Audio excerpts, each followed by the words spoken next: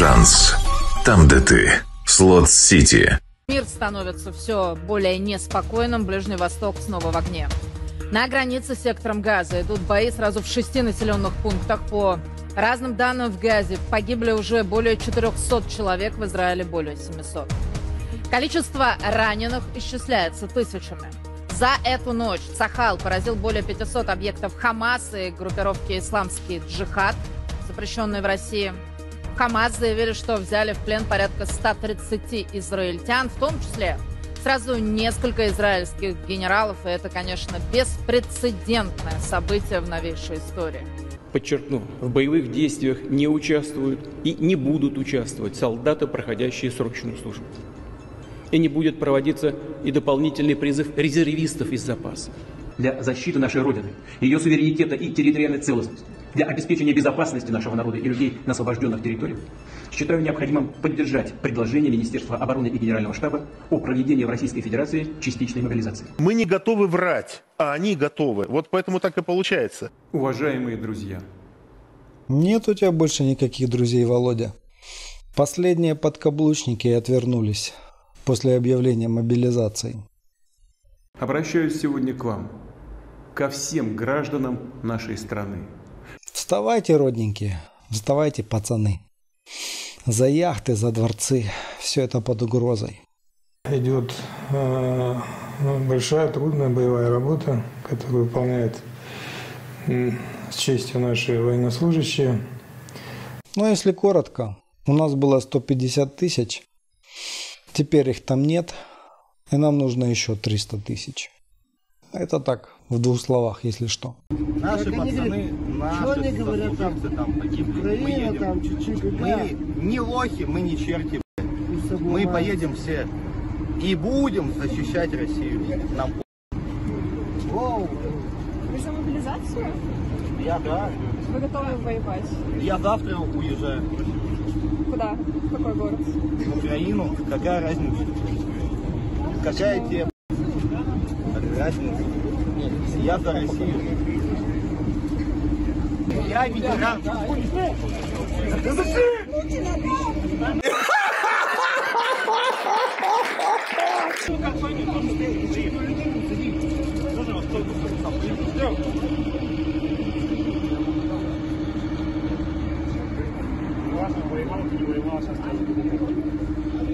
Мы поедем все и будем защищать Россию.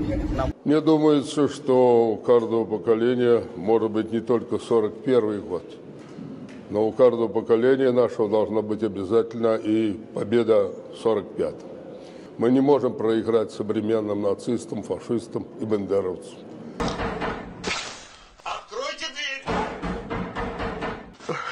Вас разорвало всех. Генерал Бойко, пришли забирать вас в армию. Какую армию? Мне 52 года. Призывной возраст подняли до 60. Кто поднял? Президент? Вы же сами за него голосовали. В нашей исторической традиции, в судьбе нашего народа останавливать тех, кто рвется к мировому господству, кто грозит расчленением и порабощением нашей Родине, нашему Отечеству. Мы и сейчас это сделаем. Так и будет. Верю в вашу поддержку. Это не неизбежность. Я знал об этом лет за 20. Еще ты не родился, может быть, или родился уже, но еще ничего не понимал. А мне уже было понятно, что война будет. Блуд был большой. Блудили все. Все грешили, грешили, грешили, грешили. Господь взял, всех наказал. Вы что, не знаете об этом, что ли? Армия не учит убивать. Армия учит учить, э, э, армия учит любить кусок хлеба и один час личного времени. Вот зачем армия нужна. Уверен в поддержке граждан России, всех патриотических сил страны. Ленин был тем врагом, который был готов на все. Вплоть до, вплоть до на- на- значит, был готов на превращение мировой войны в гражданскую. Только Ленин объявил, что мы хотим, чтобы мировая война стала гражданской, то есть перенести пожар большой войны внутрь своей родины можно было быть только вот совершенно не Русью какому-то. Да, он таким был. Украина имени Владимира Ильича Ленина. А мы никто об этом даже не, не догадывались, что такие люди бывают. Поэтому партия большевиков была той сознательной силой исторической, которая поставила фишку на уничтожение исторической России.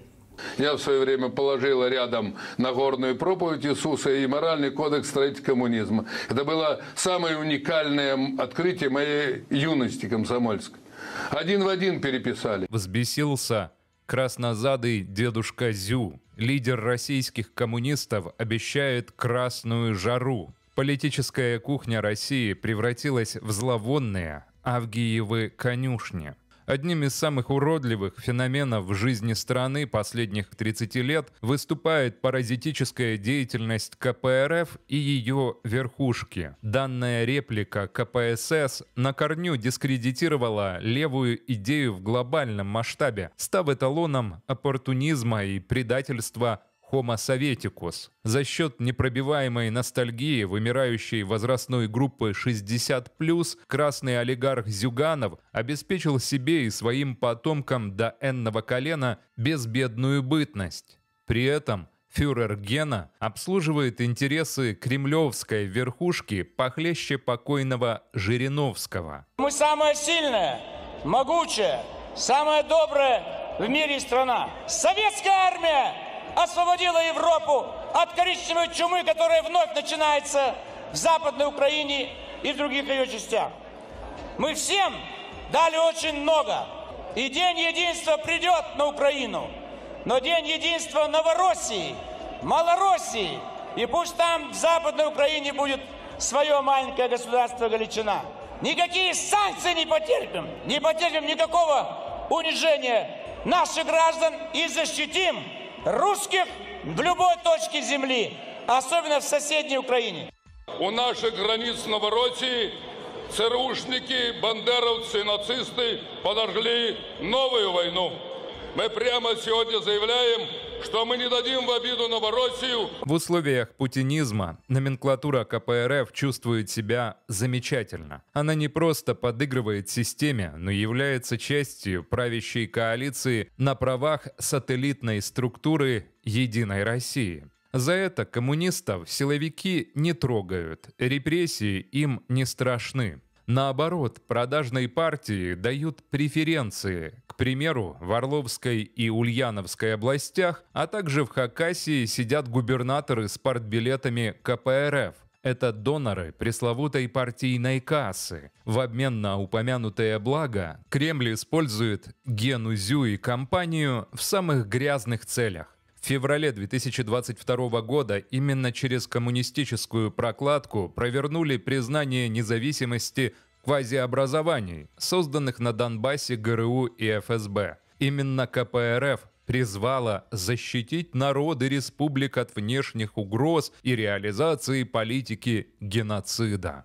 Формально политическая ответственность за втягивание России в авантюру со спецобосрацией лежит на зюгановцах. Соответственно, по логике вещей, весомую долю ответственности за подстрекательство к вторжению под надуманным предлогом должны понести проклятые коммуняки. Опять недобитки-сталинисты довели россиян до состояния катастрофы. В ближайшем будущем именно 57 депутатов от КПРФ можно первыми повесить на фонарных столбах. Однако поможет ли это хоть как-то вытащить страну из трясины? В последние дни, предвкушая, как его пустят в расход, красный кровосос Зюганов скачет аки уж на сковороде. Он прогремел сразу в двух скандалах. Сначала появилась информация о письме Зюганова к Путину, в котором первый просит не назначать звезду ТикТока Кадырова на пост министра обороны. Дескать, по молодости Рамзан безжалостно резал глотки пленным русским пацанам в Чечне и как-то унизительно будет садить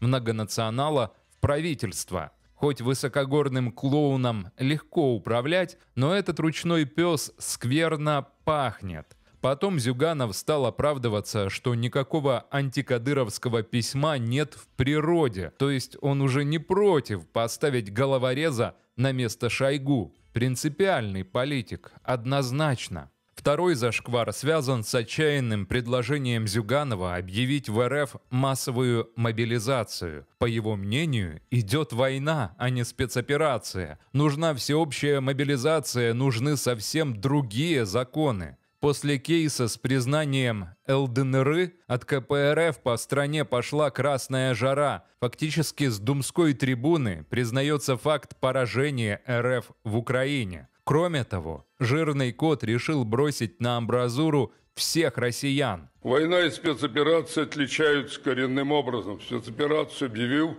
вы можете прекратить войну, вы не можете прекратить, даже если вам захочется. Вам придется идти до конца. У нее есть два исхода, или победа, или поражение. Вопрос победы на Донбассе – это вопрос нашего исторического выживания.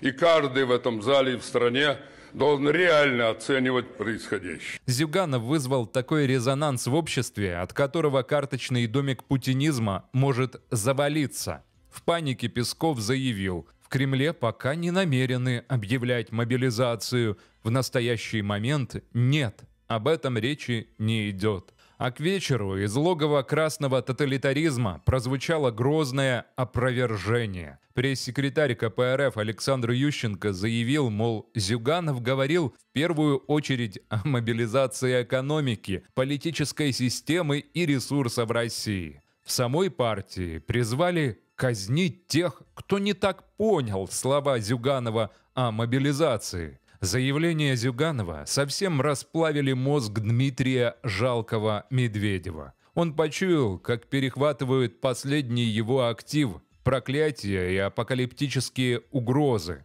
Политическое ничто выдало очередной перл, как у стран Запада будет гореть земля и плавиться бетон. Медведеву все сложнее защищать свое амплуа от посягательства со стороны Зюганова, и он явно будет рад, когда паразита подрежут где-нибудь обиженные кадыровцы. Большевики поставили на совершенно не, не бьющуюся лошадь. Они уничтожали, и они уничтожили историческую Россию. Мы живем все, к сожалению, в уничтожившейся России. Они успели дважды уничтожить Россию в конце значит, 20-х годов, ну, в смысле, в начале века там, и в конце века. Я считаю, конечно, что церковь отвечает в России за все. Россия живет только Иисусом Христом. Если забрать Иисуса Христа из России, Россия тут же рассыпется при всем своей нефти, балете. Это, это хорошо знают наши враги.